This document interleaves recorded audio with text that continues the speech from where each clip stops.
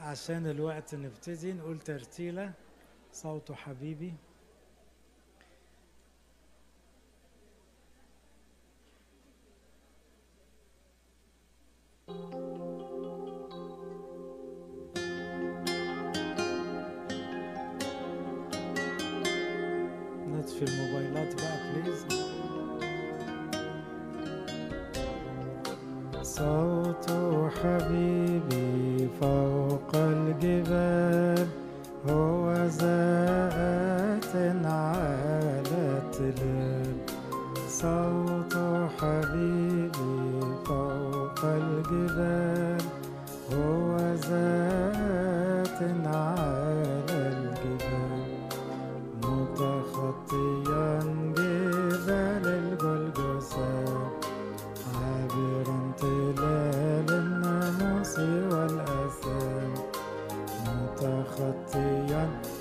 جبال الجلجسة عابرا تلال الناموس حبيبتي هي رجوعا إلي وذا الشتاء مر وذا كفاك شرودا في درب الخطية عيشي ربيعي عيشي ربيعي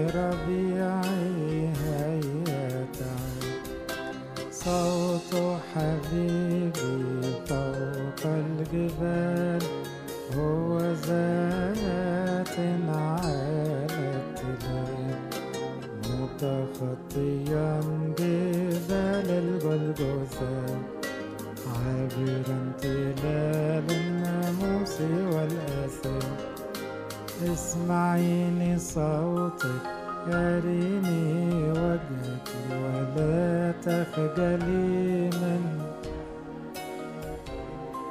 فصوتك لطيف ووجهك جميل ولحن الرجوع أجمل الألحان. ولحن الرجوع حبيبي فوق الجبال هو ذات على التلال متخطيا جبال الجلجسة عابرا تلال الناموس والأسى أنا سوداء بفعل الخطية وأصل جمالي جمال الحبيب وبنو أمي غضبوا علي وجاء اضطهادي من باب القريب وجاء اضطهادي من باب القريب صوت حبيبي فوق الجبال هو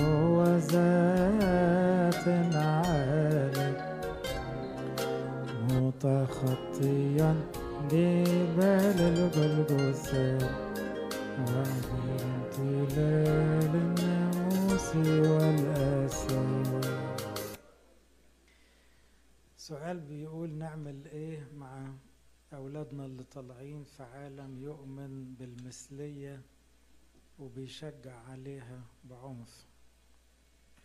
الموضوع ده يا جماعة موضوع شائك ومهم أوي نركز فيه. كأولياء أمور وكنيسة لأنه فعلا ده وباء شر داخل على العالم بعنف. والشيطان مصو يعني في رأيي مصر يشوه الإنسانية يلغي الطبيعة البشرية كأنه بيكسر في صورة ربنا بكل ما فيه من قوة يعني. وقد تكون من علامات النهاية يعني من كتر ما الشر زاد في العالم. وأتوقع أن يجي اضطهاد عنيف على البلاد الغربية اللي مش هتوافق على الاتجاهات ده. يعني هيبقى عندكم اضطهاد من نوع جديد اللي مش هيوافق على الكلام ده أو هيلمح أنه بيعتبره خطية زي ما الإنجيل قال هيتعرض إلى ضغط شديد قوي يترفد من شغله يتعامل معاملة بشكل معين يلبس قضية. فيعني ربنا يحميكم لكن ده زمن صعب. هقول ثلاث نصايح عشان نحمي أطفالنا. النصيحة الأولانية هي إن البيوت تبقى مستقرة لأنه واضح إنه الموضوع ده بيطلع من بيوت غير مستقرة يعني علاقة الأب بالأم بتنعكس على الأطفال.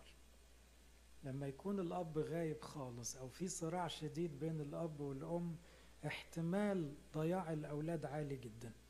يضيعوا بقى إدمان يضيعوا إباحية يضيعوا إلحاد زي ما يضيعوا. لكن أول نصيحة أرجوكم في الزمن الصعب ده الأب والأم يبقوا وحدة واحدة لأنه قدامهم حرب عنيفة مع الشيطان عشان يحموا أولادهم.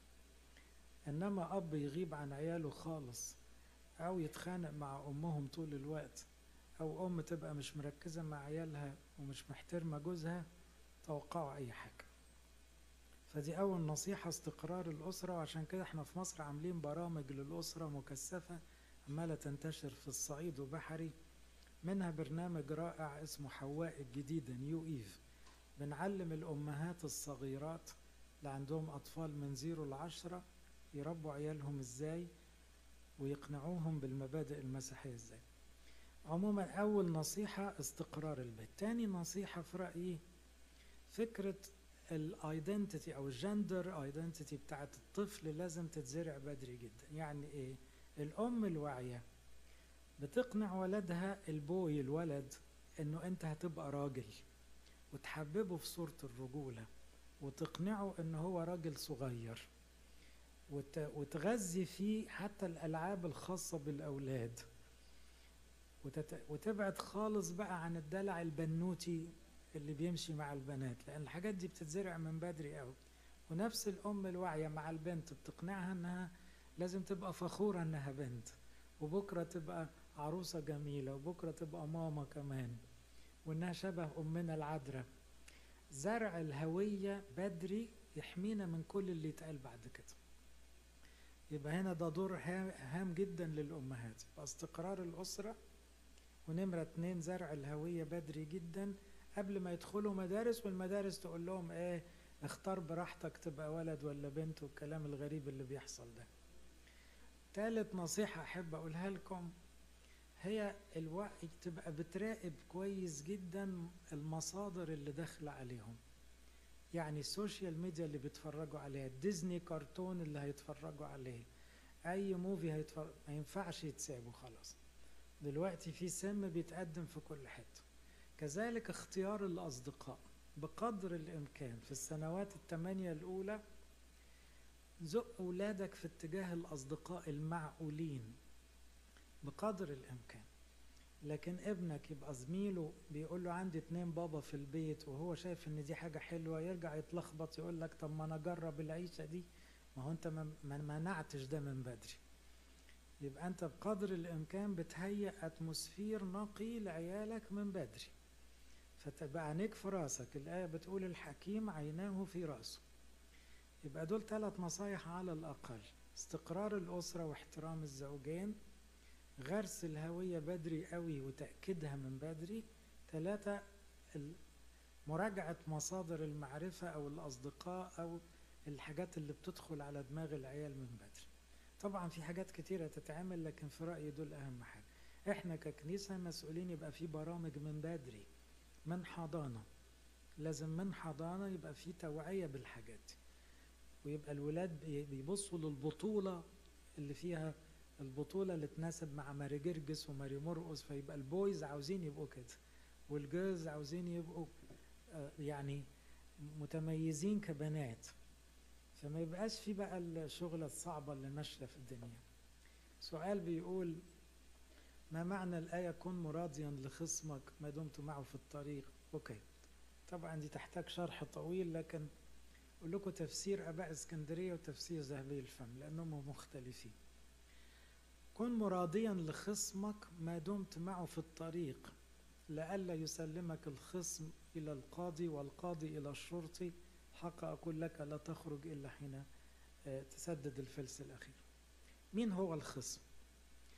في نظر أباء اسكندرية الخصم هو الضمير أو الوصية. فكن مراضيا لخصمك معناها لما ضميرك يوجعك من فضلك اسمع كلامه.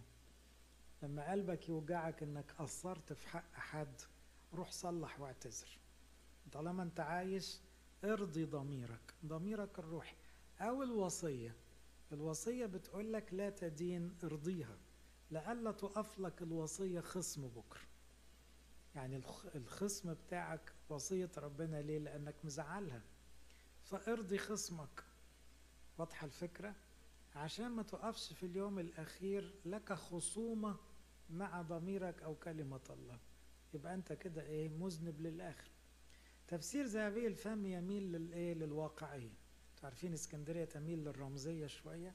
فقالوا الخصم هنا إشارة للوصية. ذهبي الفم خدها بشكل واقعي. قال لما حد يخصمك ريحه في الدنيا. ليه انت يعني غاوي مشاكل؟ واحد عاوز يشتكي يعني يعمل معاك خناقة. سيب اللي في إيدك وريح دماغك وربنا هيعوضك. فخدها بشكل حرفي. كن مراضيا لخصمك يعني تنازل عن حقك واشتري سلامك وأبديتك واخسر في الدنيا زي ما تخسر بس يكون ربنا معك. زي حكاية إبراهيم ولوط كده. إذا آه، في تفسير مرتبط بالواقعية زيادة بتاع زابيل الفم وفي تفسير آبائي يميل للرمزية شوية. عمري قرب هل ينفع أوصل لمكان حلو في السماء؟ صدقوني أنا بشوف في بعض السينيورز يعني قداسة مش بشوفها في أي حد تاني. ما تنسوش عندنا في تاريخ الكنيسة واحدة اسمها حنة بنت فانوئيل. الست دي ترملت وهي شابة وما عندهاش ولاد. قعدت 84 سنة. وهي أرملة 84 سنة بعد ترملها. يعني غالبا عدت 100 سنة. عايشة صيام وصلاة وإنجيل. بس. دي لا تقل كرامة عن سمعان الشيخ. لو تذكروا سمعان الشيخ اللي شال المسيح على أيديه مذكورة في نفس النص إن لما دخل الطفل يسوع الهيكل حنة بنت فنوئيل دي هيصت وحست بدخوله الهيكل وجمعت الناس واتكلمت عن تجسد المسيح. صدقوني أنا بشوف في كل كنيسة بعض السيدات الأرامل الكبار في السن بيصوموا ويصلوا أحسن مننا إحنا الكهنة وبيبقوا حياتهم نقية جدا وكلها عبادة. فطبعا دول شايلين الكنيسة بصلواتهم دول حاجة كبيرة قوي عند ربنا. فما تبصيش ابدا انك كبرتي لا كبرتي ده صلواتك دي تغير العالم. فما تستقليش وتفكري إن سنك ما فيش خدمة تتعمل هي أحلى خدمة الصلاة. فطول ما بتصلي للناس كلها أنت خدمتك كبيرة قوي طيب في أكتر من سؤال عن الخدمة إنما أنا عاوز إيه؟ سابونا ماركوس تعالى جنبي. هنتفرج على فيديو من خدمات الكرازة. خدمة سامبول للكرازة آه، دي خدمة ابتدت من سنة 2008 بتشجيع البابا شنودة والأنبا بخوميوس والنهاردة مع تشجيع البابا توادرس إحنا بنخدم في 34 دولة بشباب منكم وأولادكم وطلع منها خدمات كتيرة. بحيث الكنيسة بتبشر البلاد اللي ما فيهاش كنيسة قبطية هوريكم فيديو بس لأحد الخدمات في في غانا. الفيديو بتاع ال Be Perfect بتاع غانا.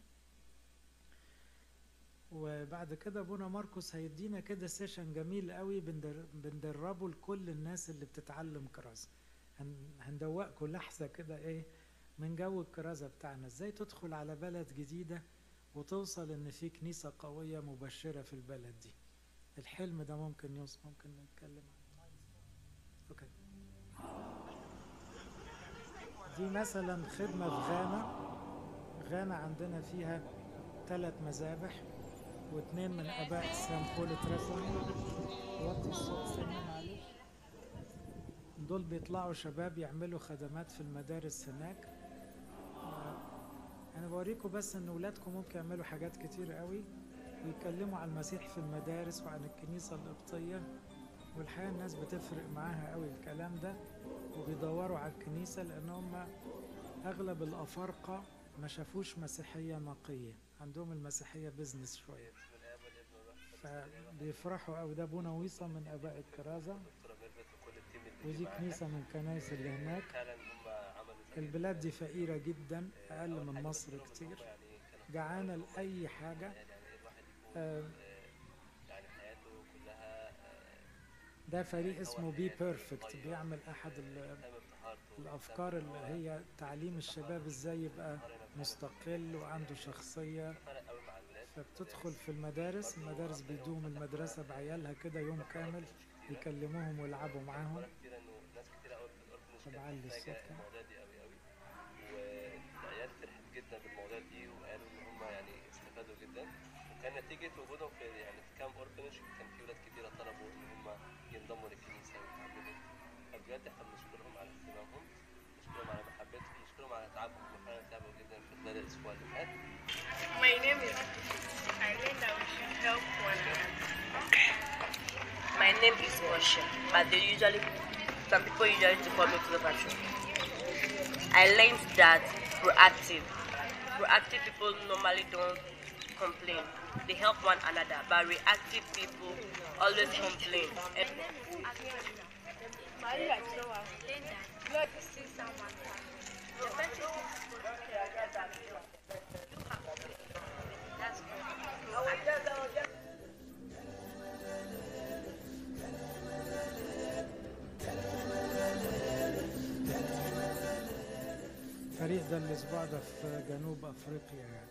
هو فريق كبير قوي كل سبعة تمانية بيطلعوا بلد كل شهر. ده غير فرق تانية بتساعد غير ال medical team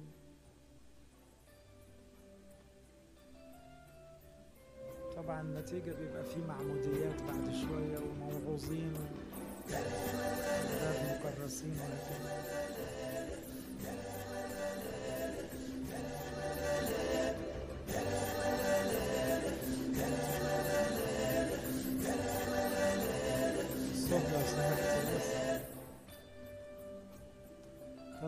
كل الماتيريالز بتاعتنا ما بتبقاش وعظية بالذات مع الأطفال والشباب بتبقى عن طريق الألعاب بس بنحط فيها طقس وعقيدة وتاريخ وإنجيل وكل حاجة بحيث يبقى بيقضي يوم معانا بيطلع فاهم حاجات كتيرة قوي من غير ما يقعد على كرسي والبرامج دي الحقيقة أثبتت نجاح عالي قوي. دي الفصول البدائية اللي بنتعامل فيها عادة في البلاد.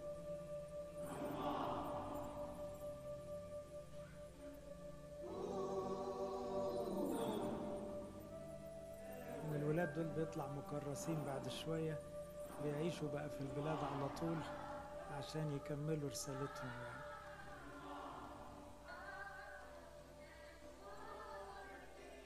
اتفضل يا ابو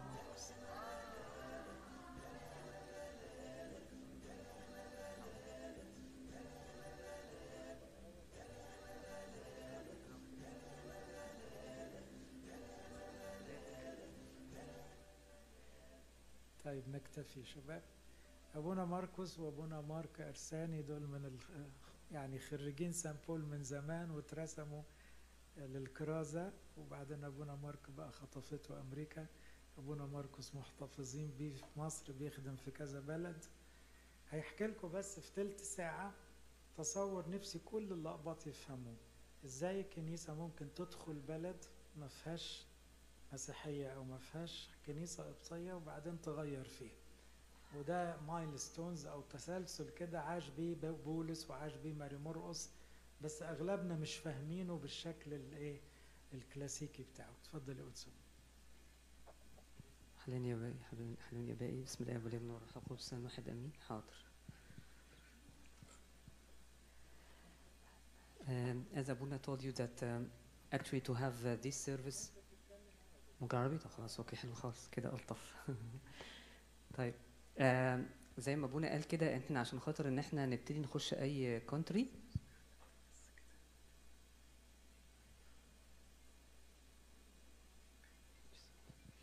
آه، لازم يكون في plan بنمشي بيها أو في steps معينة.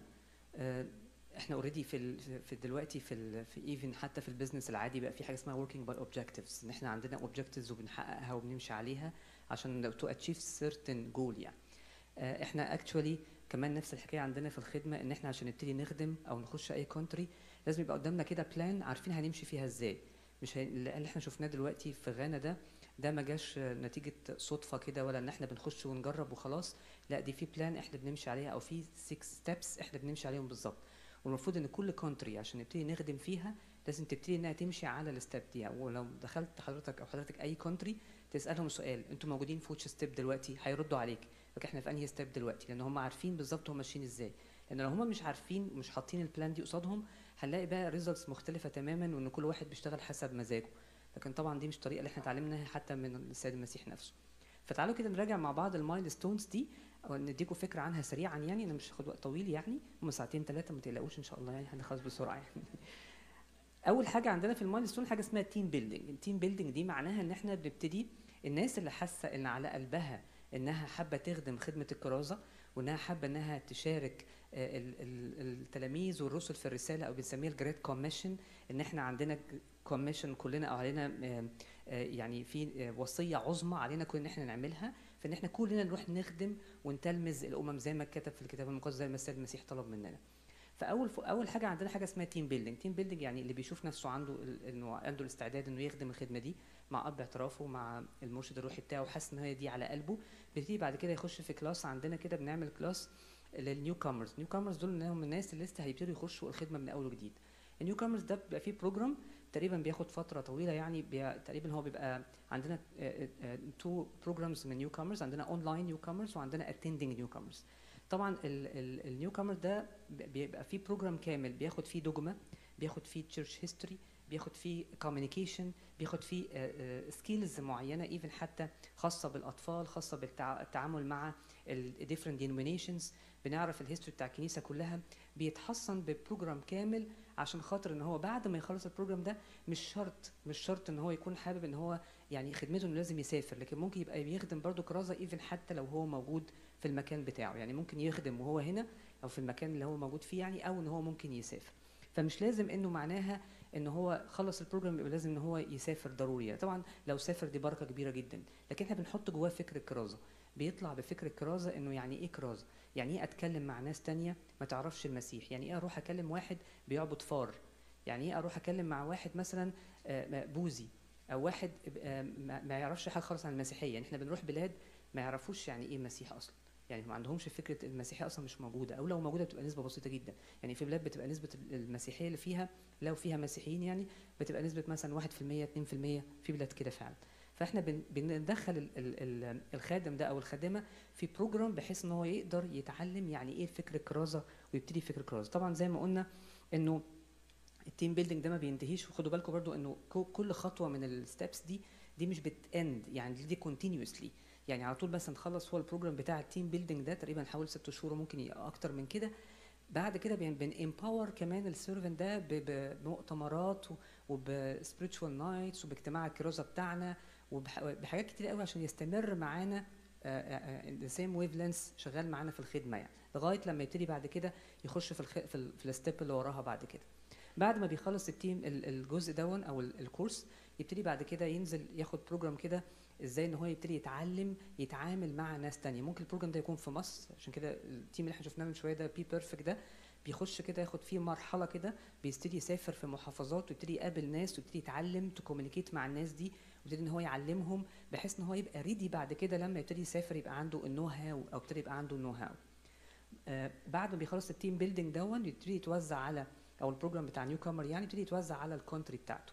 بعد ما لهم يجي لنا ال country إحنا مثلا هنبتدي نخدم في country معينة whatever ال country دي نبتدي نعمل حاجة اسمها exploration ما ينفعش إن إحنا نقول إيه عليهم يا عرب وننزل كده ونروح إيه على ال country على طول. مفيش الحكاية دي. لكن إحنا في عندنا حاجة في template عندنا بنشتغل عليه حاجة اسمها ال exploration وإحنا موجودين في مصر بنبتدي نعمل our homework ال homework بتاعنا إن إحنا نبتدي نخش على surfing الإنترنت ونبتدي نوصل لإيه ال country دي إيه الديانات اللي موجودة فيها.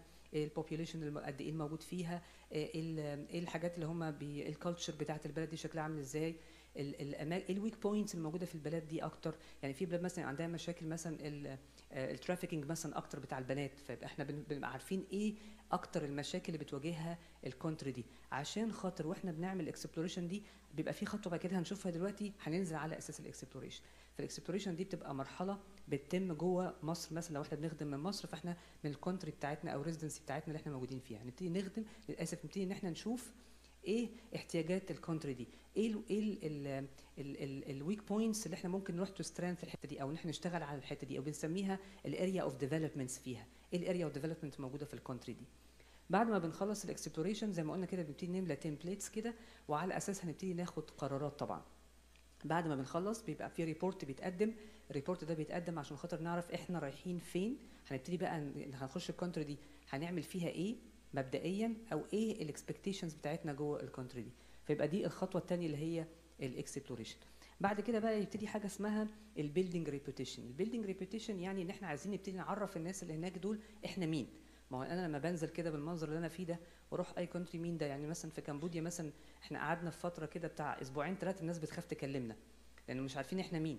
يعني شايفين بالمنظر ده وما شافوش هم قبل كده شكل كاهن مثلا. فلما ابتدينا إن إحنا بقى نتعامل مع الأطفال ونجيب هدايا هنا ونعمل لهم لعب ابتدوا يحبونا ابتدوا يعرفونا. طبعا أنا مش بتكلم على يعني دي الحتة بس أنا بقول إيه إن في حاجات بنعملها عشان نبتدي نعمل reputation لينا. إيه بقى الحاجات اللي إحنا ممكن نعملها؟ إحنا ممكن نعمل حاجة اسمها medical missions مثلا. نبقى عارفين مثلا الأماكن دي بيبقى فيها ال health فيها health care ضعيف جدا. يعني في بلد من البلاد اللي إحنا بن- بن- بنخدمها يعني عايزين يزودوا فيها عدد من الديانات الأخرى بزيادة يعني فيجيبوا من البلاد اللي حواليهم من الفلبين ومن إندونيسيا وحاجات زي كده ويرموهم جوه البلد عشان يزودوا عددهم وخلاص. لكن ولا في health care ولا في education ولا في أي حاجة. فنبتدي إن إحنا نروح نخدم الناس دي ونبتدي إن إحنا نعمل لهم نجيب medical mission مثلا زي ما أكيد حضراتكم سمعتوا قبل كده ينزلوا يروحوا يعملوا آه، حاجات بسيطة جدا في الأول. ممكن مثلا تبقى مجرد دكاترة بطنة عيون أسنان شوية شوية ممكن تبقى عمليات بعد كده كمان طبعا لما الموضوع بيكبر أكتر من كده. في ال building reputation كمان ممكن حاجة زي ال Be Perfect برضو إن إحنا بنروح نعلم الناس دول أو نعلم الأطفال دول حاجات معينة. ممكن نروح ندي محاضرات عن تاريخ الكنيسة بتاعتنا.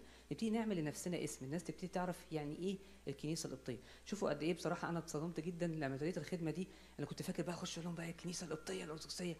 مين يعني؟ مين؟ ما يعرفوش. تخيلوا بالرغم إن إحنا شوفوا عدد يعني عدد اسم الصليب بتاعنا عدد قد إيه وكنايسنا منتشرة قد إيه في العالم لكن في بلاد ما تعرفش حاجة عن إيه هي ال Coptic church دي. يعني إيه؟ يعني إيه Coptic church يعني؟ ما يعرفوناش يعني كل اللي عندهم طبعا فكرهم كله إن هم لو دخل عندهم مسيحية لو عرفوها بيبقى واحد بقميص وبنطلون لكن لما نقول لهم بقى نبتدي لما نتكلم مع كنايس تانية إن برضو من ضمن ال building reputation إحنا بنقابل كنايس تانية نتكلم معاهم نعمل communication معاهم كويسة ن empower ساعات ال churches دي. يعني مثلا ساعات زي كنايس الكاثوليك في أماكن بتبقى ضعيفة جدا مش عارفين يعملوا إيه مع الولاد اللي هناك وسهل جدا إن الولاد دول ي converted لأي ديانات تانية أو يسيبوا الكنيسة. فلما بنروح نبتدي نعمل training ليهم مثلا إحنا مرة في أحد البلاد رحنا عملنا training لخدامهم عشان إزاي يخدموا الأطفال لأن الأطفال دول بيتاخدوا يروحوا ديانات تانية أو الشباب دول بيتاخدوا يروحوا حتت تانية. فالناس بقت تعرفنا وبقى يعرفوا إن إحنا يعني هقولها كده بالبلد يعني professional في الحتة دي إن إحنا نعرف إزاي ندي programs طبعا إحنا عندنا خبرة جميلة جدا في ال Sunday schools مثلا وفي ال programs بتاعت الشباب. فلما بنروح مكان زي كده ونبتدي نديهم ال know-how بتاعتها بيفرحوا جدا وبيحسوا إن إحنا لينا دور في المكان. فطبعا ده بيدينا good reputation قدام الكنايس دي. فيبقى ممكن يبقى medical missions ممكن يبقى محاضرات نديها ممكن تبقى خدمات مع كنايس تانية. كل الهدف ده كله من ال building reputation عشان أقدر أخش بعد كده أقول إيه؟ إن يبقى ليا existence بعد كده. طبعا ال building reputations دي عبارة عن short missions مجرد short missions ومحدودة. لأن أنا لسه بروح بعد ال exploration بعمل اسم لل- للكنيسة بتاعتي أو لينا مين إحنا دول يعني. فيخش بعد كده في المرحله الثانية وهي ال existence لما نبتدي نعرف بقى إحنا هنعمل إيه في ال country دي بعد ما إحنا شفنا ال medical mission وشفنا المدارس وشفنا وشفنا قلنا مثلا هنبتدي إيه؟ حاجة مثلا زي community learning center في مكان أو هنبتدي educational center في مكان أو هنفتح clinic في مكان. فده يبقى بداية ال existence بتاعنا. وعشان يكون في existence لازم يكون في حد قاعد. عشان كده إحنا عندنا من ضمن برضه جوه ال service بتاعه Saint Paul حاجة اسمها resident school resident school إن الناس اللي بتشوف عندها استعداد إنها تسيب كل حاجة وتكرس حياتها لخدمة ربنا بيبتدوا يخشوا جوه ال program ده عشان خاطر إن هم يبتدوا يتعلموا ومنها كمان بعد كده يبتدي إحنا كمان بنشوف هي الناس دي فعلا الدعوة دي بتاعتها دعوة حقيقية ولا لأ؟ هو بيبتدي يشوف كده ربنا فعلا عايزه في المكان ده ولا لأ؟ في ناس بتسيب شغلها تماما وتسيب كل حاجة وتروح عشان تخدم ربنا في الأماكن دي. وناس معلش برضو عشان ما حدش بس إيه في باله يفتكر إنه الناس دي ممكن ما يكونش عندها شغل ولا لأ؟ مهندسين ودكاترة وناس كبار عندهم آه، آه، يعني good history في في, ال في ال business بتاعهم في الشغل كان هم بيروحوا ويسيبوا كل ده عشان خاطر إن هم يخدموا المسيح. وساعات هم كمان يعني مثلا لو دكتور ما هو ممكن يبقى دكتور في البلد دي كمان وهو resident في نفس المكان يبتدي يقعد بقى ويبقى ليه مكان قائم وقاعد موجود عشان يبتدي يخدم في البلد دي. فال existence بتاعنا بقى إن هو هنعمل إيه؟ إيه اللي هنبتدي نعمله في المكان ده؟ ومين اللي هيقعد في المكان ده عشان نقدر إن إحنا نكمل معاه. طبعا في during الفترة بتاعت ال existence بيبقى فيه برضه missions بس بتبقى أطول شوية بقى وتبقى أكتر شوية من ال short missions اللي بتاعت ال building reputation لأنه خلاص إحنا عرفنا بقى فبنحط ال team بتاعنا بقى إيه يحط ال objective بتاعته الفترة الجاية. إحنا عايزين نعمل واحد اتنين تلاتة فيبقى في missions أكتر. بقى بنروح لينا مكان طبعا طالما في existence لازم يكون لينا مكان. بنأجر بيت أو بنشتري أرض لو إحنا في إمكانية لحاجة زي كده حسب قوانين البلد أو حسب ال facilities اللي موجوده فيها. ممكن نأجر أماكن ممكن أماكن نشتريها ونبني عليها زي ما دلوقتي نشكر الله في عندنا أماكن مبنية في كنايس مبنية دلوقتي. نشكر ربنا يعني كنا لسه من كام يوم كنا بنتكلم في توجو على الصليب بتاع الكنيسة بيتحط على آه، الكنيسة بتاعتنا هناك. هما بيركبوا الصليب فوق فوق الكنيسة. ح- حاجة مفرحة جدا حاجة جميلة. أرض و- والخادم اللي قعد فيها ده قعد يخدم فيها كان مكرس فيها. قبل كده النهارده بقى أبونا فممكن حتى في مرحلة ال existence دي ممكن يكون المكرس ده يكون ربنا داعيه أكتر من كده كمان مش بس مجرد إن هو يخدم لكن ممكن كمان يبقى أبونا. فمثلا زي فتوه كده ده بقى آه، آه، بقى دلوقتي أبونا اللي ماسك الكنيسة ده كان بيبني الكنيسة على كتافه يعني بالظبط كده. يعني كان بيقعد يحكي لي مثلا عن وإزاي إن هو بيقدر يبني ويحفر بير وكل ده عشان خاطر يبقى فيه كنيسة موجودة. فبعد مرحلة ال existence بقى نخش في مرحلة اسمها ال Coptic زي ما قال كده دلوقتي. خلاص بقينا موجودين بقينا معروفين. بقت الناس بقى الناس عارفانا وبقينا عندنا خدمة ثابتة والناس حافظانا بيها وعارفانا بيها. يعني في بعض البلاد كده الأطفال الصغيرين اللي بنعمل لهم مثلا activities بتاعت كل يوم مثلا حد أو يوم بنحط لهم programs يعني. يلاقوا الولاد جايين على باب ال- البيت بتاعنا منتظرين الوقت اللي هنفتح فيه البيت عشان يخشوا. هم خلاص حفظوا وعرفوا إن ده ال timing بتاع الخدمة بتاعتهم. فبعد كده بقى يبقى في حاجة اسمها ال Coptic church بقى. يبقى في أبونا موجود في المكان ده. أبونا بيكون Coptic يعني من من من كنيسة يعني. أقصد من مصر يعني بيروح يقعد في الكنيسة دي أو في المكان ده يبتدي بقى يمارس الأسرار كلها.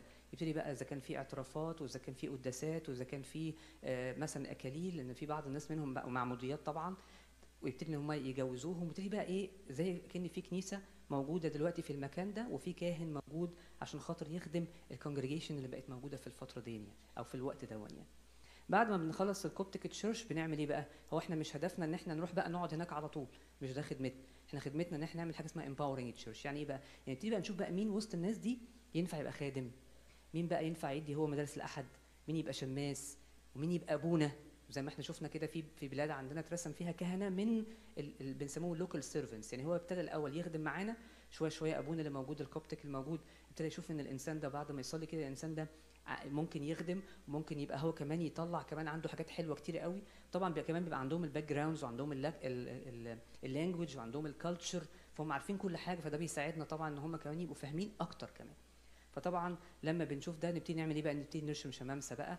وممكن بعد كده كمان نعمل حاجة بقى إيه؟ زي ما قلنا كده يبقى في كاهن كمان موجود من جوه البلد. طيب خلصنا عند كده؟ لا فاضل لنا بقى خطوة أخيرة وهي الخطوه الاخرانيه اللي بنسميها ال empowered church بقى. خلاص إحنا كل ده وإحنا لسه موجودين. يعني كل ده لسه أبونا ال Coptic موجود والخدمة موجودة وكل حاجة. بعد كده بقى نبتدي نسيب بقى الكنيسة دي ت empower بقى to manage herself بقى. تبتدي إنها تشتغل تبتدي تخدم تبتدي بقى إيه إحنا بنبقى مجرد بس consultation في الوقت ده. لو حابين يرجعوا لنا في حاجة ممكن نبتدي إحنا بنعمل إيه بقى؟ نروح واخدين نفسنا ورايحين على مكان تاني. ممكن يبقى في نفس ال country في حتة تانية خالص ونبتدي نفس تاني الايه ال steps دي تاني لغاية لما نوصل لغاية empower church في مكان تاني. ويبقى عندنا في كل مكان عندنا كاهن عندنا شمامسة عندنا شعب من ال local الموجودين أصلا. إحنا مش هدفنا إن إحنا نروح نعمل copy من ال- الكنيسة اللي في مصر بس كده وخلاص يعني إحنا اللي ماسكينها. يعني دي بتفرق جدا معاهم. لما بيشوفوا إنه إن إحنا إزاي بن empower ال church بتاعتهم وإزاي إن إحنا بنساعدهم وإزاي إن إحنا عايزينهم هم يشيلوا الكنيسة بعد كده يطلعوا بيها هم بيبقوا حاسين بال ownership مش بيبقوا حاسين إن إحنا آسف يعني مستعمرين. لأن في بعض الأماكن بيفتكروا إن إحنا جايين ناخد ال country منهم. لكن لما بيلاقونا إن إحنا لأ بالعكس إحنا بنكبرهم وبنع- وبنعلمهم لغاية ما يطلع منهم شمامسه وبيطلع منهم كهنة فنوصل لمرحلة ال empowered church بقى عندنا church كل زي ما بقول لحضراتكم كل step من دول هي continuously هي مش بتقف. يعني إحنا شغالين على طول بال exploration شغالين على طول شغالين بال building reputation على طول. إحنا كل حاجة بنعملها عشان نزود ال reputation لغاية ما نوصل لمرحلة ال empowered church يبقى عندنا كنيسة قايمة بذاتها بخدامها بكهنتها بكل حاجة ونروح بعد كده نبتدي السايكل دي أو الستبس دي في كنيسة تانية. صلوا لأن ربنا يساعدنا إن إحنا دايما نبقى عندنا different empowered churches في different countries. زي ما أبونا قال كده إحنا عندنا حوالي 34 country دلوقتي. فيعني عايزين يبقى إن شاء الله يعني كل العالم كله مليان بالمسيحيين. أول حاجة بصلواتكم بنعمة ربنا إن شاء الله. و- وال- وال- وبرضه طبعا فكرة إنه لو حد حابب إن هو يخدم في الخدمة دي زي ما أبونا كده هيقول لنا طبعا إزاي إنه ممكن يشارك كمان في الخدمة دي يعني. Gracias.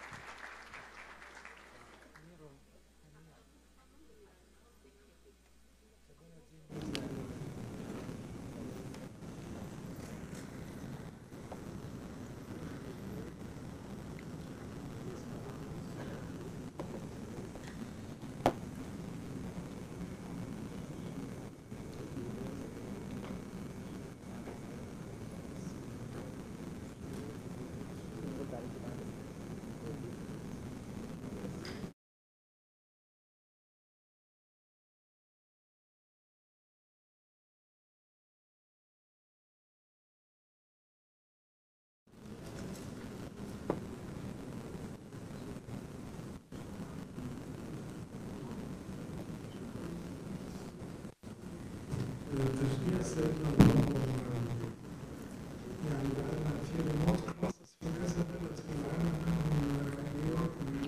you very much. We have remote in New York and New Jersey. All the priests and bishops here. I wish everybody can take the evangelism course. It looks like it's easy, but it needs a special mindset to understand how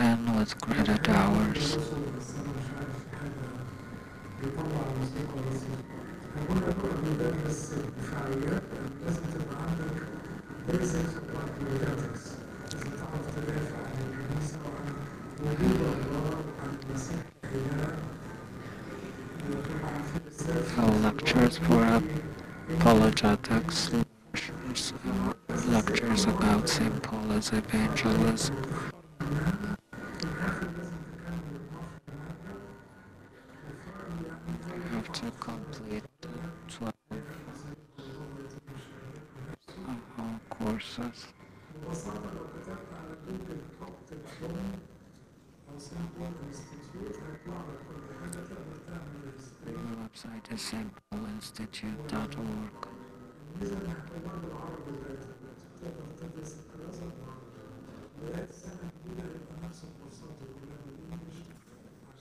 Next year it's gonna start to be all English courses.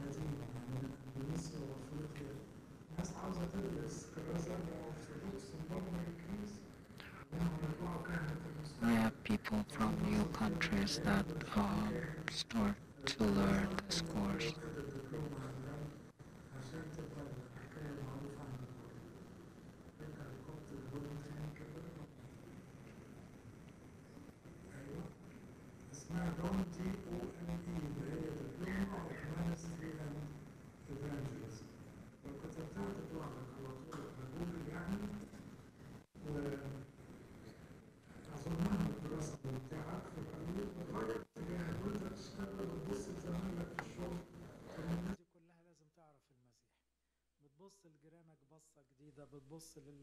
الشارع في المواصلات بتبقى دماغك خلاص خدت اتجاه جديد إنه أنت موجود في الدنيا دي عشان الناس دي تعرف ربنا.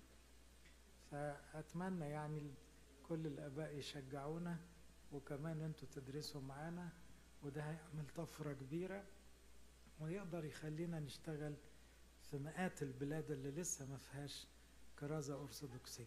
على فكرة بشهادة كنايس كتيرة منهم كنايس كاثوليكية أو بروتستانتية أو حتى بعض الأرثوذكس بيقولوا الكنيسة القبطية هي أكتر كنيسة حية ممكن ترجع المسيحية للعالم تاني. فدي شهادة ناس تانية حوالينا بيبصوا لنا بإعجاب. أنا فاكر لما رحت كوريا واتكلمت في كل في كذا سيميناري يعني ما كانوش مصدقين إن إحنا كنيسة عمرها 2000 سنة. هي أي كنيسة عندهم يعني تاريخ دخول المسيحية كوريا مثلا كان 200 سنة. وفكرة إن المسيح جه مصر دي وزيارة العائلة المقدسة الحاجات دي كلها بتخلي كنيستنا ليها taste كده وليها بريق. وكنيسة أفريقية على فكرة مضطهدة يعني تاريخ اضطهادنا بيشفع لنا.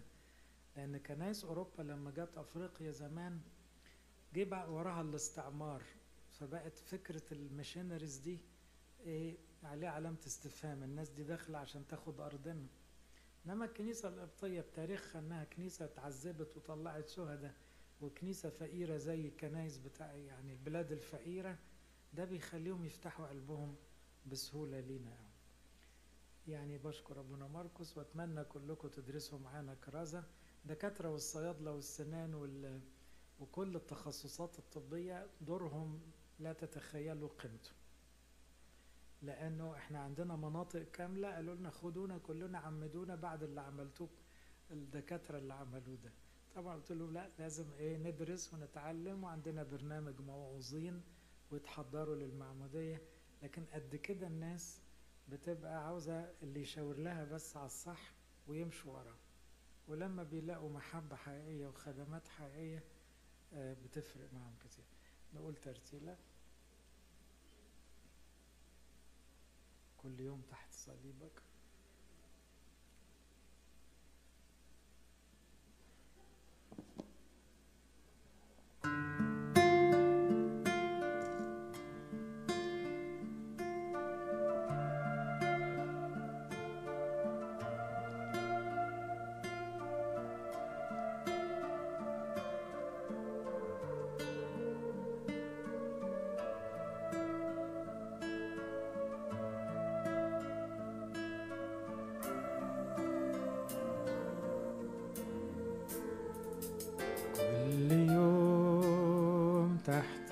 صليبك كنت بفكر دايما فيك يا رب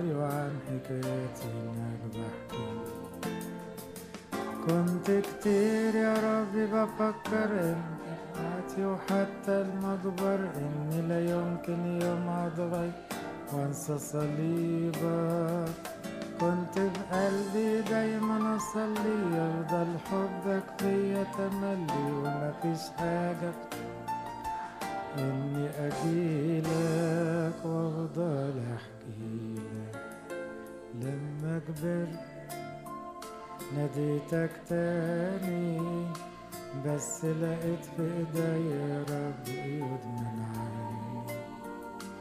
حزن وخوف مالي كياني سجن خطية وحب وشهوة عالم فاني لما كبرت ناديتك تاني بس لقيت في إيديا يا رب ايد من عين حزن وخوف مالي كياني سجن خطية وحب عالم فاني وبقيت تاني يا رب بفكر إمتى ارجع لك وازاي هقدر أقعد زي ما كنت تحت صليبك. وبقيت تاني في قلبي بصلي إنك تغفر لي وتخلي شهوة قلبي وروحي. إني أجيلك وافضل احكيلك لما رجعت لقيتك حامي بين أحضان الأب الروح فرح يملاني. مسحت دموعي جددت كياني. بعترفت من عمق القلب ندم جواي.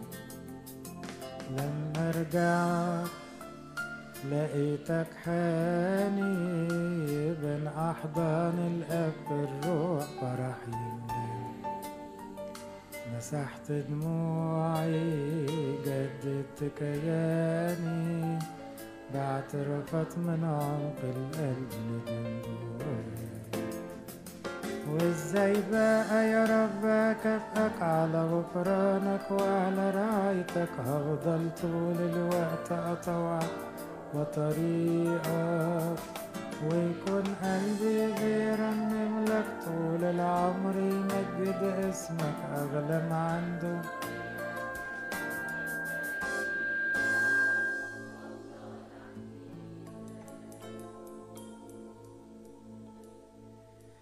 بسم الله والابن والروح القدس الإله الواحد أمين. حلوني أبائي سلسلة مران آسى الرب قادم. خدنا موضوع الآتي فهمنا خلفية لاهوتية. إزاي الكتاب بيتكلم إن ربنا جاي؟ وجاي ده موضوع الإنجيل كله.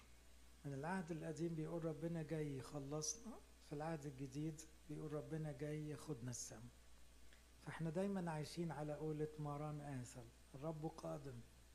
وده معناه إن إحنا في وضع انتظار تحفز رجاء مع خوف مقدس. خايفين يجي يلاقينا مش جاهزين. فخدنا موضوع طب هو عاوزني أعمل إيه؟ عاوزني أتوب وعاوزني أركز في الرحمة وعاوزني في الآخر أشهد له. طيب عشان تتبرمج البرمجة الصح تعبير جميل قوي جه في سفر النشيد أكلمكم فيه اسمه اجعلني خاتم على قلبك. الحقيقة رحت قريت تفسير ليه الواحد من القديسين قال خاتم على قلبك هي بالبلدي معناها خلي قلبي زي قلبك. لأن الختم كانوا يعملوا إيه؟ الختم بيطبع الصورة. فخاتم على قلبك يعني أنا أحط الختامة السخنة على قلب المسيح تنقل مشاعر المسيح فيتختم قلبي بقلبه. فاكرين داود اتقال عليه؟ وجدت داود ها قلبه زي قلبي.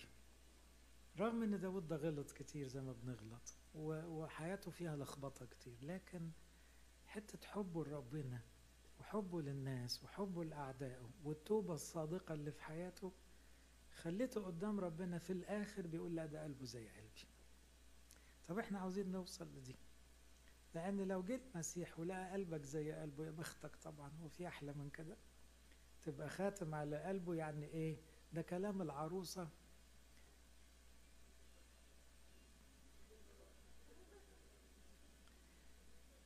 كلام العروسة اللي بتقوله لعريسها خليني خاتم على قلبك يعني إيه؟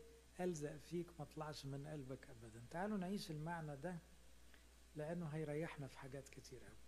بيقول إيه؟ في آخر سفر النشيد. أنتوا عارفين سفر النشيد بالذات سفر عميق؟ الآباء بيحبوه جدا لأنه بيتكلم عن العشق الإلهي. إزاي النفس تشبع بالمسيح؟ في رأيي أزمة من أزماتنا كلنا يا جماعة إن إحنا مستنيين الدنيا تشبعنا.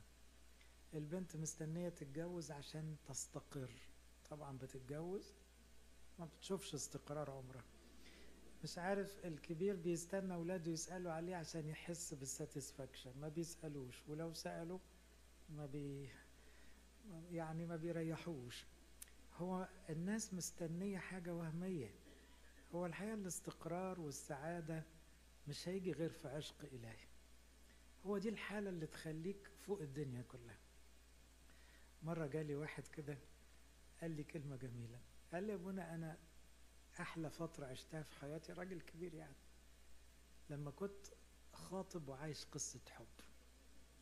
طبعا انتهت بالجواز. لكن يعني هو عاوز يقول في فترة الخطوبة دي كانت أحلى أيام عمري. هو ده ينفع تاني وأنا متجوز يعني؟ قلت له ينفع في حالة واحدة إنها يبقى إيه؟ تبقى أنت العروسة والمسيح العريس. المسيح لو المجد عاوزنا نعيش قصة حب لأن اللي عايز في قصة غرام هو فعلا أكتر واحد مستمتع بحياته. كنا نقعد نتريق يقول لك بيعد النجوم. بيعد النجوم يعني إيه؟ دماغه مش فيه. سرحان يا أخوي. ليه؟ لأنه الحب واخد عقله. القديسين كانوا كده الحب واكل عقلهم فكانوا سعداء. إحنا مش سعداء لأن الحب مش واكل قلبنا. الهم واكل قلبنا. ورانا ورانا ورانا. والموضوع طفى كده جوانا حتى علاقات الحب اللي بينا هي علاقات جافة. إنما لو رجعت اكتشفت إن المسيح عريس وإنك ايا كان سنك عايش قصة حب ومستمتع بوجوده في حياتك والكلام ده مش نظري هتفاجأ إن الحياة بقت جميلة جدا. وإن ال- الوردة بتقول لك حاجة والعصفورة والرومانسية رجعت في سن التمانين وبقت مختلف تماما. ليه؟ لأنه العشق الإلهي هو الحالة اللي هنبقى فيها في السماء. هي السماء على الأرض هي الملكوت الداخلي. ومن هنا سفر النشيد بيعتبروه قدس أقداس العهد القديم لأنه بيطلعنا للحالة دي. يدخلنا في جو رومانسي غريب أوي. العريس اللي ما فيهوش عيب ده المسيح. والعروسة اللي ما فيهاش ميزة ما فيهاش ولا حاجة عدلة هي حضرتك. وأنا العروسة الخربانة دي السودة اللي هي إيه طبعا السودة دي بنخاف نقولها في أفريقيا ما نقولهاش لأن هم طبعا بيشوفوا الجمال آه، في في الدارك كولر يعني. لكن هنا يعني مقصود بيها هي كانت عبدة. هي كلمة هنا سوداء إشارة إنها كانت عبدة.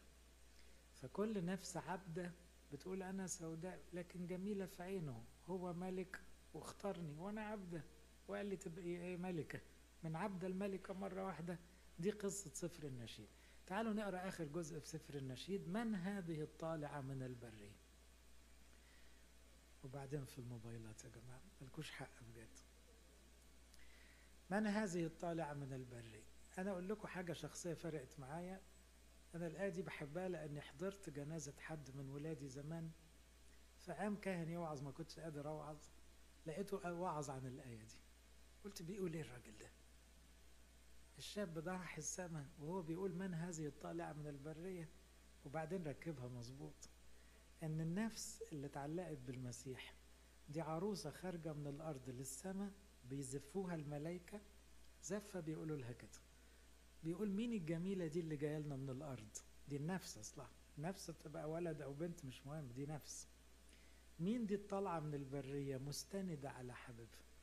عارفين بقى البنت لما تتدلع على عريسها وتبقى مش عاو... يعني نظام مش مش قادرة تمشي خطوتين لازم تسند عليه.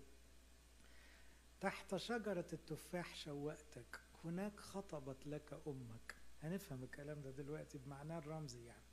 هناك خطبت لك والدتك. تقوم العروسة تقول له ال- الجزء الأولاني ده الملائكة بيقولوه. أو القديسين. مين الجميلة اللي جاية لنا دي؟ جاية لنا على السما بقى. عقبالنا كلنا يعني. ما ندخل بزفة يعني. فبيقولوا مين اللي جاية لنا من الأرض كده بزفة جميلة دي؟ تقوم النفس تقول له إيه؟ هي العروسة بقى اللي بتتكلم. تقول للعريس اجعلني كخاتم على قلبك. طبعا كلمة على قلبك دي بيقولوها الستات بس بمعنى تاني فاهمين؟ أنا على قلبك يعني على قلبك يعني إياك تفكر في حد ولا تبص بره ولا ده معنى ملناش دعوة بيه. لكن هي اجعلني كخاتم على قلبك يعني ما اطلعش من قلبك أبدا تفضل تحبني للأبد وأفضل أحبك للأبد. كخاتم على ساعدك. نزل الخاتم من القلب للساعد. وكلكم عارفين إن الخطوبة تبقى الدبلة يمين وبعدين تتنقل شمال. شمال عشان القلب. كأنها استقرت. يعني في الخطوبة العادية تبقى في اليمين قابلة للخلع. لكن وانس راحت الشمال دخلت القلب لو اتخلعت القلب يتخلع. مفروض ده الفكر المسيحي. فإيه؟ عملية الخلع دي مش مش بتاعتنا. لأن المحبة قوية كالموت. الغيرة قاسية كالهاوية. تشبيهات غريبة هنفهمها دلوقتي. لهيبها لهيب نار لظى الرب مياه كثيرة لا تستطيع أن تطفئ المحبة والسيول لا تغمرها. إن أعطى الإنسان كل ثروة بيته بدل المحبة تحتقر احتقارا. تعالوا نعيش بقى واحدة واحدة كده في الكلام الحلو ده. مين الطالعة من البرية؟ صدقوني هي كل واحد فينا. عاوز يبص كده للحظة بتاعت مهران آسى الأخيرة دي. وانت خارج من الدنيا ربنا يديكوا العمر. بس الأهم يدينا السم. انت مسنود على حبيبك؟ يعني انت أقرب حد ليك المسيح؟ ولا عيالك ولا مراتك ولا أصحابك ولا فلوسك ولا إيه؟ انت مسنود على إيه؟ يا بخت اللي مسنود على حبيبه. في ناس عايشة حياتها فعلا أقرب حد ليها ربنا. متجوزين ومخلفين بس لا لا ربنا هو اللي واكل عقله. هم دول اللي عايشين صح ودول اللي عايشين قصة حب ودول اللي بيطلعوا على السما كده بزفة جميلة قوي مستندة على حبيبها دي معناها كمان يا أحبائي إنها متكلة عليه في كل حاجة. يبقى النفس مستمتعة بالتكريس مش بتفكر كتير ربنا هو اللي بيفكر لها. تحت شجرة التفاح شوقتك اللي هي الخلوة. فكرة إنه إيه؟ عايشين يحكوا مع بعض. خطبت لك أمك. دور الكنيسة خطبة. فاكرين بولس قال على نفسه كده؟ قال خطبتكم لرجل واحد. الكنيسة بتعمل إيه؟ دورها تخليك تتعلق بالمسيح وتسيبك. لسه أبونا بيحكي عن المكرسين كل دول عبارة عن عرايس للمسيح. يعني إيه واحد يسيب حياته كلها ويترمي في بلد صعبة؟ إلا لأنه اتخطب للمسيح خلاص. عشقه حبه.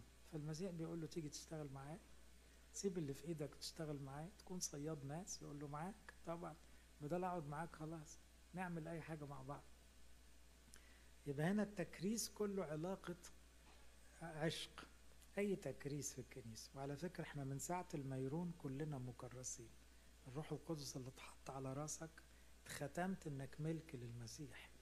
مخك بيروح في الدنيا دي خيانة دي سرقة. انت مش من حقك تفكر في الدنيا ولا في الفلوس ولا في مكانتك وكرامتك والكلام الفاضي ده دي كلها خيانة. انت ملك ربنا مستندة دي فكرتني بكلمة بيقولها المزمور اذكر لعبدك كلامك الذي جعلتني عليه اتكل عارفين الخطوبة بتبقى بكلمة ربط كلام. فالعريس ربط العروسة بكلمة فالمسيح قال أنتوا حبايبي أنا هدفع الثمن أنا ذاهب لأعد لكم مكانا زي أي عريس بيوضب البيت عشان يجي إيه يتجوز وياخد عروسته معاه. فذاهب أعد لكم مكانا. ده آخر مرحلة في الخطوبة. متى أعددت المكان؟ آتي أيضا وأخذكم حتى حيثما أكون. أنا تكونون أنتم أيضا معي. نقعد مع بعض على طول. يبقى إحنا في آخر مرحلة الخطوبة. بس في بتقول له فكرني بالكلام الحلو اللي قلته لي اللي خلاني اتكل عليك. انت قلت لي ان أنا ابنك قلت لي ان انت بتحبني قلت لي هتسامحني قلت لي أنا معكم كل الأيام قلت لي لا تخف لا تتلفت. افتكر استند على الكلام الإلهي. إحنا ساعات بنستند على يعني معلوماتنا وأفكارنا وعلمنا وخبراتنا وفلوسنا والباسبور الأمريكاني لا هتسيبه هتسيبه صدقني. مش هو الأمل ولا حاجة. لا أذكر لعبدك كلامك الذي جعلتني عليه أستند في مزمور بنقوله كتير في القداس يقول أما أنا فالاقتراب إلى الله حسن لي. يعني أنا مش عاوز حاجة في الدنيا أعملها غير أقرب من ربنا. أنا موريش غير كده. مرة واحد برضو جاله كانسر في الأربعينات كده. فأنا رايح بقى أشجعه وأنا متوقع بقى هسمع الكلام الصعب ليه ربنا كده وأسيب عيالي أطفال و... فوجئت بيقول لي إيه؟ بص بقى أبونا في آية بتقول أما أنا فالاقتراب إلى الله حسن لي. قول لي أعمل إيه بقى؟ أركز في ربنا في اللي فاضل. لا تقول لي علاجات ولا تقول لي بص أنا هعمل اللي بيقولوا عليه بس أنا مش فارق معايا ولا حاجة. عاوز أقرب. عاوز أقرب جدا الفترة دي. وبقى مركز جدا وفرحان ومنطلق وفعلا راح السما بمنتهى السعادة. لأنه فهمها صح. أنا بجهز نفسي للمسيح. كلمة مستندة على حبيبها يعني إيه؟ لازق في كلام ربنا. اسند على كلام ربنا لأنه لما كلام ربنا يشغلك قوي إن ثبتتم فيا وثبت كلامي فيكم تطلب اللي أنت عاوزه. عارفين العروسة لما تبقى غالية عند عريسها فيقول لها اطلبي اللي أنت عاوزاه بالذات عريس بقى محترم زي ربنا فعلا يعمل أي حاجة. فعلا بيعمل أي حاجة.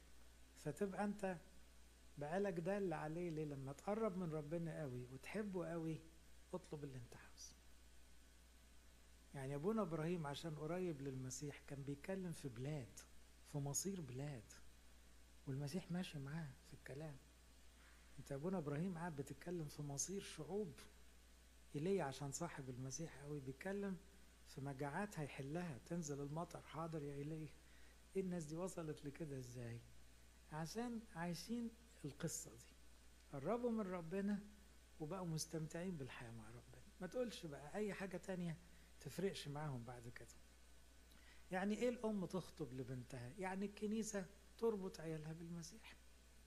وأي أم واعية فيكم دورها الأساسي تربط عيالها بالمسيح تخطبهم للمسيح. بعد كده جه عريس من طرفه ما جاش ما تفرقش. استغرب من الأمهات القبطيات. زمان الأم القبطية تحضر عيالها للاستشهاد. النهارده الأم القبطية أهم حاجة عندها إيه؟ تجوز بنات وبعدين تلم المشاكل بعد كده. إيه هو؟ ده تفكير مش روحي. أيوه ما إحنا نفرح إن أولادنا يرتبطوا بس مش يرتبطوا بالمسيح. مش بيشبعوا بالعريس اللي عليه القيمة الأول. هو سمح إن يبقى عريس من طرفه كمان ويفضلوا الاتنين عرسان. دي حلوة. لكن لو ما سمحش مش مشكلة. ما نحسسش بناتنا بالقلق. هي عروسة للمسيح هي ليها رسالة. يعني هم اللي اتجوزوا مش هيموتوا. ما هو في الآخر القصة هتخلص بس في الآخر هتخلص في أنهي اتجاه؟ رايحين فين؟ يقول القديس بولس أغار عليكم غيرة الله لأني خطبتكم لرجل واحد لأقدم عذراء عفيف. عشان كده هنسمع عن الغيرة دلوقتي في سفر النشيد. الغيرة يعني القلب السخن اللي بيبقى مش طايق إن حد بعيد عن ربنا أو إن خطوبة تتفك يعني حد قريب من ربنا ويبعد عنه. طبعا العريس ده مش من الدنيا دي. اذا العروسة لازم تبقى مش من الدنيا دي. أنت لو عاوز ترتبط بالمسيح ما ينفعش تبقى شبه الدنيا. ينفعش طموحات الدنيا تشغلك. بيقول ليسوا من العالم كما أني أنا لست من العالم. يبقى أنت لازم تبقى مختلف عن الدنيا. الناس كلها عاوزة تعمل فلوس أنت مش فارق معاك. الناس كلها عاوزة تاكل وتشرب الأمور دي مش شغلاك فالناس تقول لك أنت مختلف. أيوه ما أنا أصلي تبع العريس. أنا خطيبته. فإحنا مرتبطين ببعض. العريس غريب والعروسة غريبة. وكل القديسين عاشوا المعنى ده. كعرايس للمسيح. حسوا كانوا مش من الدنيا دي. تعبير الخطوبة ده جه كتير في الكتاب وحتى في العهد القديم جه. لأن علاقة المسيح بشعبه أو بكل نفس علاقة حب. مثلا في أرمية يقول ها أنا ذا أتملقها وأذهب بها إلى ده سوري هوشع ده وأذهب بها إلى البرية وألاطفها. عارفين العريس اللي بيطلب ود عروسته؟ تصوروا المسيح بيعاكس فينا يقول لك وده اللي قاله في النشيد افتحي لي يا أختي يا حبيبتي يا حمامتي يا كاملتي أنا واقف على الباب أنت مش سامعاني. وطبعا العروسة نايمة جوه متيسة ومش عاوزة تقوم. وخلاص. ومش حاسه وبعدين ترجع تقول قلق وهم وغم واكتئاب طب ما هو انت اللي عاملة في روحك كده. ما تفتحي. افتحي له الباب يقعدوا يضحكوا مع بعض. خلاص هتلاقي الليلة جميلة والدنيا جميلة والعيشة سهلة قوي نعدي الجزء بتاع هوشع عشان. بس في آخره يقول أخطبك لنفسي للأبد. مرة واحدة مخطوبة جت تقول لي أبونا قول له حاجة من فضلك لحسن خطيبي واخد ده شعار لخطوبتنا. أخطبك للأبد مش راضي يقلبها جواز. فقلت له لا حبيبي أنت فاهم الآية غلط. دي معناها يعني مؤبد مع المسيح في السماء لكن أنت تتجوز. فأخطبك للأبد يعني إيه؟ مش عاوز يقلب جواز. أخطبك لنفسي بالعدل والحق والإحسان والمراحم. يعني بصوا العريس بيقدم إيه؟ بيقدم كل حاجة. العروسة على فكرة أوسطينوس له كده عظة جميلة. عن العروسة المفلسة والعريس الملياردير اللي هي المسيح. عنده كل حاجة والعروسة على الزيرو. فيهاش ولا حاجة عدلة اللي يعني إحنا يعني. ومع كده بيحبها جدا. وبعدين يقول إيه؟ يقول عشان ما تزعلش يبعت لها فلوس من ورا عشان تجيب له هدية. عشان تحس إنها برضو إيه؟ فبيدينا فرصة ان نخدمه. نخدمه إيه؟ أنتوا فالحين. يعني بس يلا خدموا عشان برضو تبقوا عملتوا حاجة يعني. ندينا فرصة ان نصوم يعني هي واقفة على الصيام مش واقفة. لكن لازم نعمل حاجة برضو كعروس فيفتح لنا باب نصوم ونصلي ونختم. لكن هي في الآخر هو العريس اللي, اللي عنده كل حاجة. أخطبك لنفسي بالأمانة فتعرفين الرب. إذا تعالوا نعيش يا جماعة في معنى مهم نفسي أوصله. كل واحد متضايق مكتئب خايف. قلقان متوتر منزعج مش لاقي نفسه في الدنيا. صعبان عليه من الناس. حبيبي انت ما وصلتش للفكرة لسه. فكرة إيه؟ انك عروسة والعريس عمال يقول لك انت مش معايا لسه انت مش مركز معايا أنا بحبك. ومين اللي بيقول لك؟ ده ربنا. مش يعني وزير ولا شخص مهم ده ربنا نفسه عمال يحكي معاك ويقول لك بس افتح لي الباب ونقعد مع بعض. الدنيا تبقى حلوة. تقوم العروسة بقى فهماه فتقول له بص اجعلني كخاتم على قلبك. الطلب ده جميل قوي وده يمشي مع مران آسف رأيي. ليه؟ يا رب نفسي يبقى قلبي زي قلبك. نفسي أحس باللي بتحس بيه. وأنت بتبص على الناس بتبص إزاي؟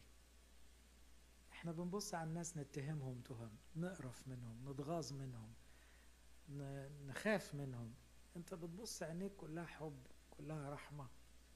طب أنا عاوز العينين دي ورا العينين في قلب. طب أنا عاوز أبقى خاتم على قلبك عشان قلبي يبقى شبه قلبك.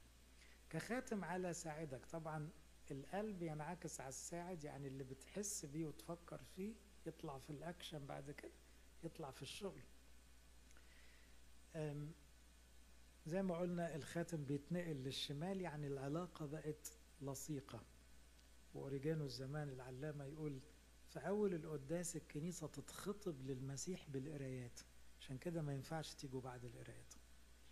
لازم تحضروا البولس والكاثوليكون دول شهود الجواز. بولس والكاثوليكون والإبراكسيس والمزمور والإنجيل ده كده ربط الكلام بين العروسة والعريس. وبعدين ندخل بقى على إيه؟ تلزق في المسيح. قداس المؤمنين والإفخارستية هتلزق. اللي جايين متأخر دول ما فهموش حاجة. ومش عارفين اللي بيحصل جوه القداس. كمان ختم على قلبك يعني الختم يدخل ويستقر الختم ما يتشالش. عشان كده بنسمي الميرون ختم عشان ما يتشالش. الميرون مسحة دائمة يمكث معكم إلى الأبد يكون فيكم تشالش مننا الروح القدس. فيبقى هنا الختم إشارة إنك أنت ختمت عليا أنا تبعك خلاص. وبالختم ده هندخل السماء. مرة واحد قال فكرة جميلة. قال في سفر الرؤيا خلاص الضربات داخلة وهتهد العالم. صوت من السماء بيقول للملاك استنى لما نختم إيه؟ كل عبيدي. عشان الضربات ما تجيش على المختومين. استنى لما نختم عبيدي. يعني إيه؟ الختم اللي على العبيد دول بتوع ربنا. دول ما ينزلش عليهم العقاب الأبدي. فكرة إن يبقى لك نفس قلب ربنا يسوع ده يحسسك بالأمان. ليه؟ لأنه خلاص لو بتفكر زي ربنا بتحس زي ربنا يبقى أنت طلعت بره الدنيا دي. بقيتش بتخاف زي ما الناس بتخاف ولا بتشتهي حاجة زي الناس اللي بتشتهيها طب الخاتم ينزل على ساعدك. يعني إيه؟ يا رب علمني أعمل اللي أنت بتعمله. تعالوا نحط في صلواتنا. حسسني باللي بتحس بيه يا رب وعلمني أعمل اللي أنت بتعمله. اجعل أو قولها بطريقة الإنجيل اجعلني كخاتم على قلبك وكخاتم على ساعدك. حرك قلبي باللي بيدور في قلبك وحرك إيدي باللي أنت نفسك تعمله بيا. كل القديسين عاشوا المعنى ده. أنا أذكر زمان لما كنت لسه مبتدئ خدمة أبونا يوسف أسعد الله ينيح روحه بقى لو تسمعوا عنه. كان عامل مؤتمر في مصر الجديدة للخدام وقال كلمة أنا مش بنساها. الكلام ده فات عليه أكتر من أربعين سنة. قال الخادم اللي بيحب ربنا يحس المسيح حاسس بإيه ويتحرك بناء على الإحساس ده. يعني تبقى بتصلي بحرارة يقوم ربنا يشاور لك على حد تعبان تقوم تروح له. أنت مش بتتحرك بدماغك بحساباتك بجدولك لا بتتحرك بقلبه هو. بس دي عاوزة إيه؟ حساسية عاوزة عروسة فاهمة عريسها عاوزة اتنين سامعين بعض كويس. فاللي قرب من ربنا قوي المسيح يحركه في الاتجاه اللي هو عاوزه. يقول له بالظبط هو عاوز منه إيه. ممكن ما يسيبش شغله بس يبقى عايش متبرمج صح. عشان كده بولس يقول نحن عاملان مع الله. إحنا بنشتغل مع ربنا. هو اللي بيسوق وهو اللي بيحدد نعمل إيه. أنتم فلاحة الله. نكمل. هرجع تاني لفكرة الكلمة. يبقى المسيح له المجد بيكلمنا وبيقرب مننا وبيربطنا بيه وبيعزم علينا بعلاقة أبدية في السماء وكلام ربنا ده بيغير القلب. أنا عاوز أخلص من الكلام ده. وقتنا مع الإنجيل يا أحبائي أقل مما يجب. مرة خطيبة كده مخطوبة يعني جاية تقول لي أنا عاوز أفك الخطوبة. قلت لها ليه؟ قالت لي مش عارفة. مش بنقضي وقت مع بعض كفاية. هو دايما مشغول وأنا مشغولة بنتقابل ساعة كل أسبوع وبنتكلم في اللي ورانا. فأنا حاسة إن الحكاية ناشفة كده. قلت لها فعلا اللي انت بتقولي خوف. ده مش طبيعي. مش طبيعي. الجوازة دي هتبقى إيه؟ very dry لو كملت. إنما قالت لي طب الحل إيه؟ قلت لها طب جربي انه تقعدوا على الأقل ثلاث ساعات مرتين في الأسبوع تحكوا وما تتكلموش في اللي وراكم. بعد شهر جت قالت لي أبونا إحنا فعلا بقينا نحب بعض ومشتاقين للجواز والدنيا بقت ماشية كويس قوي وأنا متأكدة دلوقتي من قراري. فكرة ال quality time يا جماعة إحنا علاقتنا مع ربنا علاقة سطحية عشان كده إحنا مش سعداء عشان كده مش مستقرين. وقت الإنجيل أقل مما يجب. حكاية تقعد مع الإنجيل والإنجيل يديلك كتير. آه، أنا واقف على الباب واقرع إن سمع أحد فتح الباب أدخل إليه أتعشى معه وهو معي. دي لغة الحبيبة دي. فإذا إحنا محتاجين ندي للإنجيل شوية وقت ونحكي مع ربنا أكتر. هتلاقوا العلاقة اختلفت كتير. يقول هكذا قال الرب إله الجنود من أجل أنكم تتكلم بهذه الكلمة أنا اذا جعل كلامي في فمك نارا. وهذا الشعب حطبا فتأكله. ممكن تأثر في الناس ممكن يبقى كلامك له تأثير كبير قوي بس افتح بقك وخلي المسيح يحط الكلام في بقك. خلي قلبك زي قلبه خلي إيدك زي إيده. تلاقي نفسك بتعمل الشغل اللي هو بيعمله. المحبة قوية كالموت. أنا بن بختم خلاص. يعني إيه؟ ليه استخدم تعبير الموت؟ تعبير مش حلو. حد يشبه حاجة حلوة بحاجة وحشة؟ طب المحبة دي حاجة حلوة أوي. قالوا بعض الآباء أصل الموت ملوش كبير. يعني مفيش بني آدم عرف يطلع بره الموت. المسيح جه عشان قضية الموت. فكأنك لو حبيت مفيش واحد هيطلع بره إيدك. يقولوا في علم الكرازة شبكة الكرازة هي الحب. محبة لا تسقط أبدا ساعات تترجم love never fails. يعني will never fail. To catch any soul. لو عرفت تحب الناس. محدش يقدر يطلع بره الشبكة دي. لو حبيت الناس جدا هتجيبهم. مرة كاهن بيحكي لي قال لي عندي ولد ملحد قاعد معايا عشرين سنة. مطلع عيني. وأسأل عليه ويرد عليا بقلة يعني بحاجات وحشة. وأرجع أسأل عليه تاني. وأشوفه في الشارع أجري عليه أخده بالحضن يبص لي من فوق لتحت يقول لي أنت لسه في الجهل بتاعك ده يقول لي أبونا كده. قال لي أنا بحبه وبصلي له وباصص له كابني ومش مستعد يهلك. قال لي بعد عشرين سنة. لقيته لوحده بيقول لي أنا عاوزك يا أبونا. ودخل قال لي أنا عاوز أعترف. قال لي أنا اتخضيت. أعترف؟ ده ما كنتش أحلم بالكلمة دي. أعترف إيه ده؟ بيقول ما فيش ربنا بقاله عشرين سنة. فبقول له تعترف بإيه؟ قال لي أعترف زي اللي بيقولك اعترف. فقال له إيه يا ابني اللي حصل؟ قال له أنا بقالي عشرين سنة بقاوم حبك بس أنت غلبتني. بقاوم أبوتك بس أنت غلبتني. لو أنت كده أمال المسيح إيه؟ لو أنت بتحبني بعد كل اللي عملته فيك أمال يبقى ربنا شكله إيه؟ أكيد ربنا موجود. بصوا المحبة قوية كالموت كأنه إيه؟ مين يطلع بره الموت؟ مفيش بني آدم ولا المحبة كمان.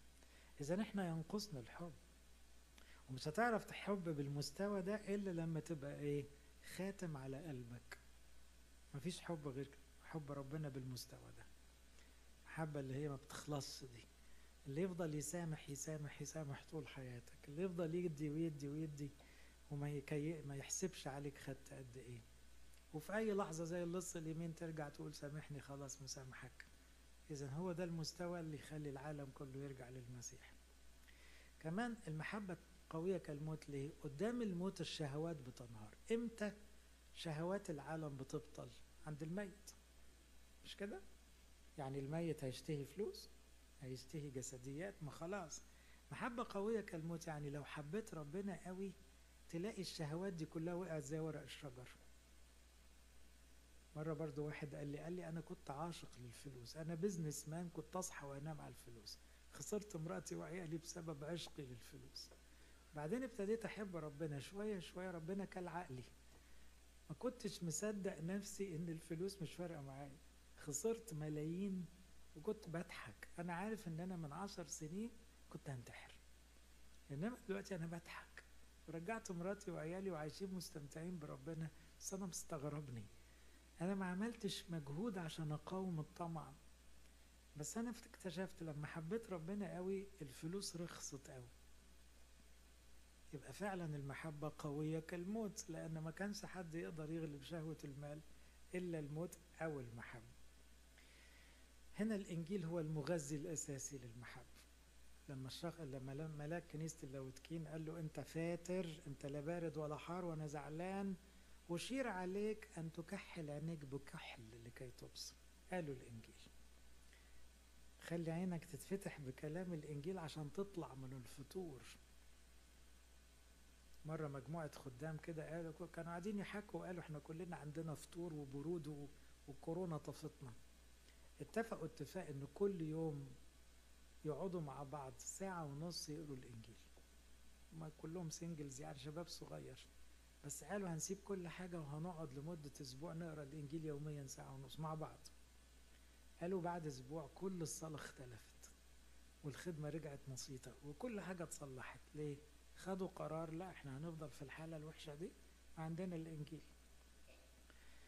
آخر حاجة أختم بيها عشان نسخن شوية أحبائي عشان الحب يزيد عشان نستمتع بحياتنا كعرايس للمسيح أو أولاد ربنا عشان نحط في صلواتنا الكلمة الجميلة دي اجعلني كخاتم على قلبك كخاتم على ساعدك. تدريب بسيط خد آية وخليها تشغلك أسبوع كامل. تشغلك تشغلك. صدقوني جربوا الفكرة البسيطة دي. آية واحدة تصحى وتنام عليها لمدة أسبوع. وخد حتى الآيات المشجعة اللي فيها وعود وحب من ربنا. آية واحدة مفعولها غريب. لأن كلمة الله حية وفعالة جدا. لكن إحنا ساعات نقرأ وما نحتفظش بحاجة. فتلاقي اليوم اتملى دوشة واتملى زحمة واتملى كلام فاضي. وبعدين تيجي بالليل تقول أنا قريت إيه الصبح؟ ما أنتش فاكر لو كنت قريت. إنما لو آية شغلتك جدا تبقى أنت في حتة تاني تبقى دخلت في الرومانسية اللي بنحكي بيها ودقت العز اللي بنتكلم عنه. ردد الآية شير الآية. اتكلم عنها صلي بيها. خليها تاكل عقلك لأن ساعتها هتدوق مستوى مختلف من العلاقة بربنا. هتدوق اللي بنحكي فيه إن كل مشاعرك القديمة دي خدت جنب كل مشاكلك دي صغرت قوي طمنت قوي إن ربنا شايلك وعيالك وحالك. لقيت السماء جميلة ولقيت الحب الإلهي حلو لإلهنا كل مجد وكرامة الأبد هنصلي أحبائي وبعدين الدينر تايم ونرجع الساعة 8 أوكي؟ يا صاحب الحنان. تفضلوا نصلي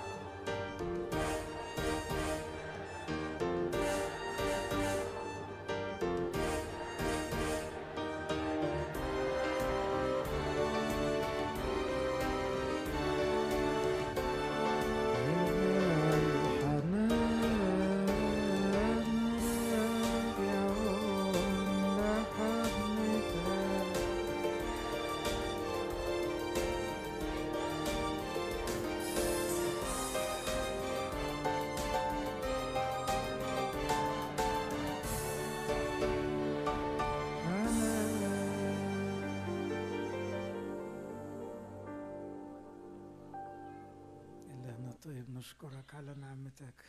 نشكرك أنك أتيت إلينا على الأرض وأتيت إلى الذبح من أجل محبتك لينا. ونشكرك أنك وعدت أنك تأتي أيضا لتأخذنا. حتى حيثما تكون أنت نكون معك إلى الأبد. أشكرك أنك حلو يا رب. تحب ولادك أوي. أنك عريس مثالي وأب مثالي وصديق مثالي. وأنك قادر تشبع كل احتياجاتنا فقرنا وعجزنا وضعفنا ومشاعرنا ومخاوفنا وأحزاننا كلها ممكن تبقى تحت رجليك. لما تدخلنا أحضانك وتجعلنا خاتم على قلبك. حرك قلبنا يا رب بروحك الساكن فينا. شبعنا بيك يا رب أشغلنا بيك. املانا من كلامك المريح. خلينا نفكر زيك ونحس بقلبك ونشوف الناس بعينيك ونحرك إيدينا بقدرتك وإرادتك وحكمتك ونعيش بالظبط نفعل ما يرضيك. ماذا تريد يا رب أن نفعل؟ قبل ما يخلص العمر ونقف قصادك وخجل شديد يا رب ولا يصلح الخجل ساعتها. سامحنا على كسلنا وعلى جحودنا وعلى مشاعرنا اللخبطة وعلى أحلامنا الأرضية وعلى طلباتنا اللي بعيدة عن إرادتك وعلى القلق اللي جوانا وعلى الحزن الرديء. سامحنا لأن قلبنا ضيق مش عارف يحب الناس زيك يستحملهم ويسامحهم زيك. سامحنا لأن إيدينا بتعمل حاجات كتيرة تيجي عند شغلك تكسل. يا من صلبت لأجلنا يا من أحببتنا إلى المنتهى يا من تعطي بسخاء أكثر جدا مما نظن أو نفتكر أو نطلب. ثبت رجائنا فيك وإيماننا بيك وسع قلبنا يا رب وسع قلبنا خلينا نحب حب قوي محبة قوية كالموت ونغلب موت الخطية اللي في العالم ونرجع عيالنا اللي بعدوا عنك بسببنا. ونرجعهم لحضنك. بمحبة قوية وغيرة مقدسة تطلع من الهاوية وتحدف على الفردوس.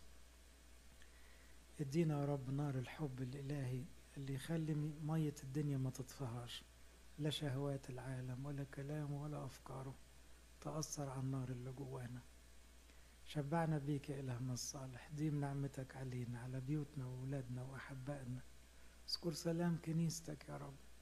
أذكر ولادك اللي في الغربة العالم كله بقى غريب والعالم ماشي ضد إرادتك العالم موضوع في الشرير لكنه يمضي وشهوته معه ويبقى الذين يصنعون إرادتك يا رب. علمنا نصنع إرادتك في كل شيء. أذكر يا رب اللي سألونا نذكرهم قصادك البعيدين المحتاجين.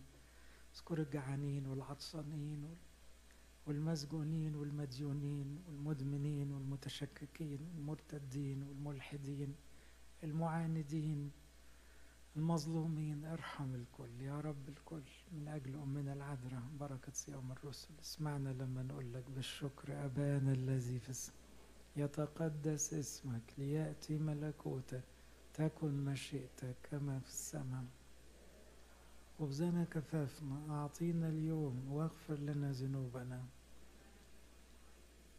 لا تدخلنا في تجربة لكن نجينا من الشرير. بالمسيح يسوع ربنا.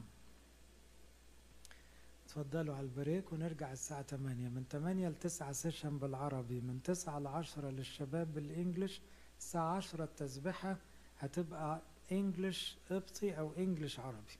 فكل اللي بيحبوا التسبيحة يا ريت يسهروا معانا. الشباب اللي هيمسكوها وإحنا الكهنة معاهم. ممكن يا جماعة عشان بس ولادنا اللي هيجوا ممكن هنسيب أول أربع صفوف هنا. كل ده أول أربع صفوف لو سمحت خدوا من بعد الصف الخامس فيما بعد. عشان بس الولاد ما يحرجوش ونلاقيهم قاعدين ورا وما يركزوش مع أبونا. دول ولادكم please خليهم يقعدوا أول أربع صفوف هيبقوا reserved لل high school college and elementary. Thank you